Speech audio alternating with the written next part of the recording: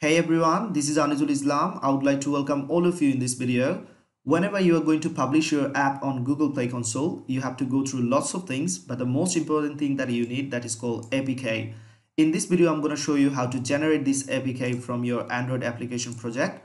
So first of all, you have to come to your Android app project and then you have to go to build and from here you can go to build bundle but that is not the thing you are looking for to publish your app on google play console. You have to go for generate sign bundle.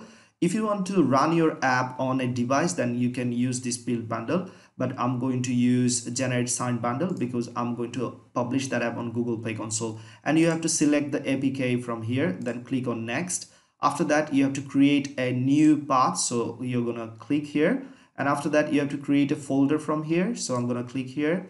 And then you can choose a destination where you're going to generate your apk i'm going to choose a desktop folder. And then i'm going to create a folder on my desktop that is uh, called my new path. You can use anything here and then click on ok. Now i'm going to generate my apk here. So you have to give a file name. I'm going to give uh, my path then leave the extension as it is. Click ok. After that you have to uh, give a password here and you have to remember that password for the next time because you're going to maybe you're going to update your app. So must be you have to remember this password okay? Then you have to confirm this password. Then you can leave this one as it is and you you can give password here or you can leave it blank but i'm gonna give the same password after that you have to uh, enter your first and last name. Suppose i'm gonna enter my first and last name here. After that you have to give an organizational unit. And the rest of the things you can keep blank but i would like to fill all those because i don't like to get any sort of errors.